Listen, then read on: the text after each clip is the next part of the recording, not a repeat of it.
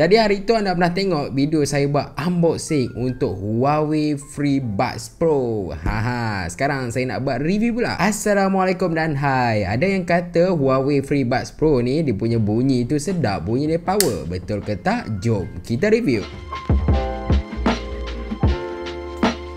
Jadi untuk tahu anda, Huawei FreeBuds Pro ni dijual dengan tiga jenis warna iaitu kita ada ini ialah warna ceramic white, warna putih, kita ada warna silver frost dan juga black carbon. Tapi black carbon tu saya tak sure adakah masuk ke Malaysia ataupun tidak. Jadi anda boleh belilah Huawei FreeBuds Pro ni dekat Shopee ataupun Lazada ataupun anda terus je pergi dekat kedai Huawei. Untuk tahu anda, Huawei FreeBuds Pro ni dianggap sebuah wireless earphone yang agak premium. Nak tahu kenapa? Ha, kejap lagi saya akan ceritakan satu persatu. Tapi first kali kita nak cerita bab rekaan dia. So kalau tengok dia punya casing ni memang nampak simple Kat bahagian belakang ni. Kalau tengok betul-betul kan ha, Dia ada tulis Huawei kat bahagian belakang tu Dan dia macam ada besi sikit kat bahagian belakang ni. So dia punya casing ni lah warna putih Memang betul-betul putih dan berkilat sikit Okay kat bahagian bawah ni kita ada port USB Type-C untuk penghiasan dia Dan juga kita ada LED indicator. Sebelum kita buka kat bahagian dalam ni Okay kalau anda tengok dekat bahagian kiri Okay kat bahagian sini Kita ada satu button yang agak tersembunyi. So button ni function ni ialah untuk connect daripada wireless earphone ni ke laptop ataupun ke anda punya phone lah. So first kali saya pun macam tercari-cari juga dekat mana nak control. Rupanya ada satu button dekat sini dan tak berapa nampak pun. So kalau anda beli anda kena carilah kat bahagian tepi ni. So kalau anda buka ni, ah anda disajikan dengan dia punya earphone lah. So kat bahagian dalam ni kita ada satu LED indicator. Ini sekarang warna hijau maksudnya dia sedang ready. Kalau anda nak connect anda kena tekan hold dekat bahagian tepi ni. So bila anda hold 3 second kat sini dia punya warna akan jadi warna putih dan anda boleh carilah ini ialah device dia. So anda boleh terus connect dengan Huawei FreeBuds Pro ni. Jadi kalau kita buat keluar ni ok inilah badan dia ataupun kita panggil sebelah dia punya earphone lah kan. So nak buat keluar dia macam susah sikit tapi dah buat keluar dia ok je lah. Alright. So kalau anda tengok dekat sini dia macam ada identity dia tersendiri. Ok first kali kenapa saya cakap macam tu? Sebab ialah dia punya echo ni pendek je. So dia tulis Huawei kat bahagian belakang echo dia pendek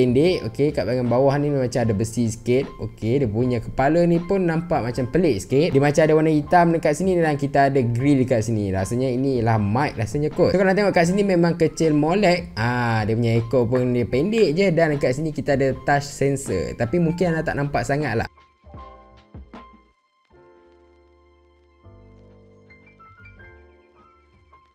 Kalau tengok kat sini betul-betul dia macam ada satu area kecil je. Kat sinilah adanya touch sensor. Kejap lagi saya akan tunjukkan macam mana nak kawal. So macam mana dari segi keselesaan bila anda pakai wireless earphone ni. Ha tengok dia terus connect bila saya dah terus pakai. Bagi saya ini merupakan sebuah earbuds yang agak selesa bila dipakai. Bila saya pakai dia tak lenguh telinga satu. Lepas tu dia kalau anda pakai lama-lama dia tak terasa macam anda pakai earphone pun. Dan yang ketiga apa paling best ialah dia agak grip kat sini. So kalau anda bergerak ke anda berlari ke kan dia susah nak jatuh lah. Tapi dia tak ada sebarang penyakut kat sini so dia ada juga kemungkinan untuk jatuh. Tengok ini ialah jenis ear tips so anda boleh tukar dia punya ear tips ni ikut keselesaan anda. Huawei ada bagi 3 size kat sini so tak ada masalah. Mana anda selesa anda tukar je. Sekarang saya nak tunjukkan macam mana nak control menggunakan touch sensor yang sangat kecil dekat dia punya echo ni. First kali kita ada tukaran mode antara awareness mode kita ada noise cancelling dan juga kita off. Ha, first kali kalau nak control jenis yang itu lah kita pergi dekat echo dia dan kita hold selama 3 second dan dia automatic akan tukar kepada mood lain. Pastikan anda sentuh dekat bahagian touch sensor dia lah. Seterusnya ialah untuk kuatkan lagu ataupun slowkan lagu. Kalau nak kuatkan lagu anda kena swipe ke atas. Kalau nak slowkan lagu anda kena swipe ke bawah dekat bahagian touch sensor dia. Yang ketiga ialah benda biasa. Kalau kita buat satu tap kat sini dia akan pause ataupun play lagu. Kalau second tap dia akan pergi ke next song dan kalau ketiga tap dia akan pergi ke previous song. Kalau nak jawab call satu tap sahaja. Berbalik pada mode tadi kita ada tiga jenis mode iaitu off mode, kita ada noise cancelling mode dan juga awareness mode. First sekali ialah awareness mode. Awareness mode ni ialah dia akan capture bunyi pada luar sekeliling dan dia akan masukkan ke dalam. Kat sini bunyi sekeliling pun kita dengar, bunyi yang dipasang dekat kita punya earphone ni pun dengar. So dua dalam satu lah. Yang kedua ialah noise cancelling. Untuk noise cancelling ni dia akan jadikan anda punya telinga ni macam bunyi yang kedap. Bila kedap tu anda tak dengar bunyi sekeliling ni. So anda boleh boleh nikmati anda punya lagu dengan lebih lebih orang kata best lah lebih feeling. Yang ketiga ialah off mode. Untuk off mode ni anda boleh dengar lagi kat bahagian luar tapi rasanya dia agak kedap jugalah bila dah pakai terus. Bergantung kepada anda nak guna mode mana. Bagi saya kelebihan untuk mode ni hanya ada untuk earphone yang mahal-mahal je. Selain daripada tu juga kalau anda pakai mode ni antara awareness mode ataupun noise cancelling mode mungkin dia akan bertahan sekitar 5 jam macam tu lah. Penggunaan saya saya gunakan noise cancelling dan saya buka dengan dia punya volume ialah setengah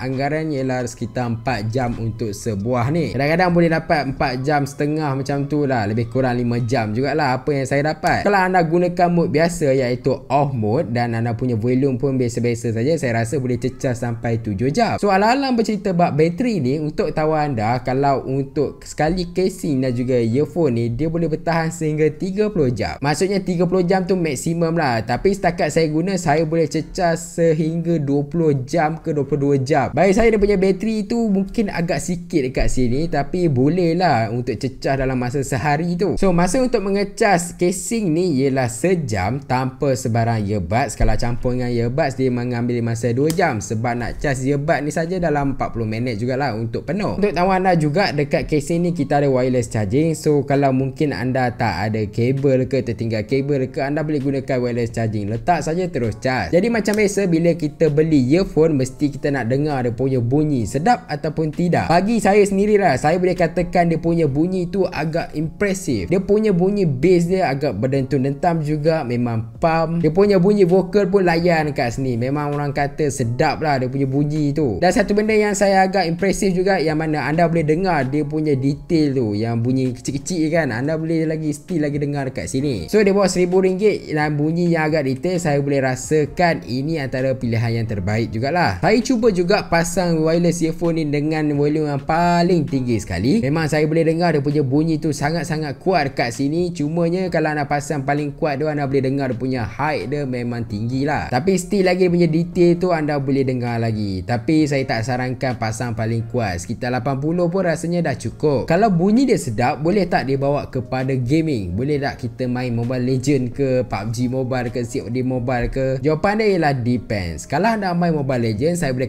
katakan wireless earphone ni boleh dibawa main lagi. Tapi kalau anda main macam PUBG mobile ke ataupun macam COD mobile ke memang dia kurang sikit lah. Dekat sini dia punya latency tu di atas satu saat so dia punya bunyi tu macam delay walaupun kurang tapi tak berapa best lah kan. So kalau anda nak main still lagi boleh main cuma anda kena hadap sikit lah. Dia ada delay sikit je kat sini. Tapi kalau untuk sebuah wireless earphone untuk gaming ni saya syorkan di bawah 1 second iaitu sedap lah. Tapi kalau sampai 1 second ni dia kurang sikit lah. Dia delay dia dah memang terasa. Benda yang paling best bila saya gunakan Huawei FreeBuds Pro ni ialah saya boleh dengar bunyi dengan detail. Benda bunyi dia memang macam anda berada dalam power gam lah. Bunyi dia macam bunyi bass dia memang sedap dekat sini boleh main game. Anda boleh dengar bunyi letupan tu bunyi footstep pun boleh dengar dan dia sangat detail. Kat sini dia ada pros and cons dia lah. Dia punya cons dia ialah dia punya delay tu lebih pada 1 second. Walaupun delay dia rasa macam sikit je. Dan pada masa yang sama benda yang baik ni ialah dia punya bunyi dia memang best kat sini. So mungkin anda nak dengar macam mana kualiti bunyi mic dia. Jadi jom kita test mic. Jadi sekarang saya sedang menggunakan Huawei FreeBuds Pro. Anda boleh dengar macam mana kualiti mic untuk earphone pada Huawei ni okey ataupun tidak. So sekarang saya akan cuba senyap sekejap. Nak dengar mungkin dia ada noise ke apa okey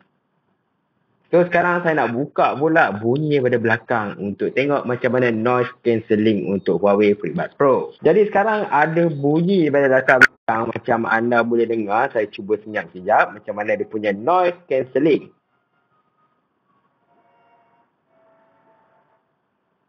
So macam mana dia punya mic? Ah, berkualiti ataupun tidak? Apa kata anda tinggalkan komen dekat bahagian bawah. Mengenai mic dia juga, kita ada satu function yang mana Huawei kata kita bawa keluar satu ni, okey, kita hold dia punya echo ni selama 3 second dan dia akan bertukar jadi mic. Ah, yang ini tukar jadi mic. So nak tahu macam mana mode ini berfungsi dengan baik? Ah, jom kita cuba sama-sama. Jadi salah satu fungsi lain Huawei FreeBuds Pro ni lah, anda boleh buka salah satu pada earbuds anda dan anda kena hold bahagian dia punya touch sensor ni selama 3 second. Kemudian dia akan automatik menjadikan sebuah buds ni sebagai mic. Ha, adakah dia ada perbezaan ataupun sama? Apa kata tinggalkan komen dekat bahagian bawah juga. Jadi kodek yang disupport oleh Huawei FreeBuds Pro ni ialah jenis AAC dan dia ada Bluetooth 5.2. Bila nak guna Bluetooth 5.2 ni dia punya jarak tu lagi jauh lah. So dia punya teknologi ni agak latest juga. So bila anda pergi kat tempat yang lebih jauh kan anda tak rasa ada gangguan lah dari segi dia punya bunyi. Huawei FreeBuds Pro ni dia jual dengan harga RM699 boleh dikatakan bawah RM700 lah. Dan ciri yang ada dekat Huawei FreeBuds Pro ni boleh dikatakan agak mengagumkan lah. Dia ada bunyi yang sangat baik, dia ada wireless charging, dia ada Bluetooth 5.2, okay? Dan boleh rasa dia agak premium dekat sini sebagai sebuah wireless earphone. So, apa pendapat anda tentang Huawei FreeBuds Pro? Adakah dia sebuah earphone yang boleh katakan berbala dengan harganya? Kalau tanya saya tentang bunyi dia memang boleh kata agak premium dekat sini lah. Saya boleh kata not bad juga untuk menyikir satu. Jadi, apa pendapat anda tentang Huawei FreeBuds Pro? Apa kata anda tinggalkan komen dekat bahagian bawah tentang pendapat anda sebuah wireless earphone daripada Huawei dan macam biasa jangan lupa like, subscribe dan juga share. Terima kasih.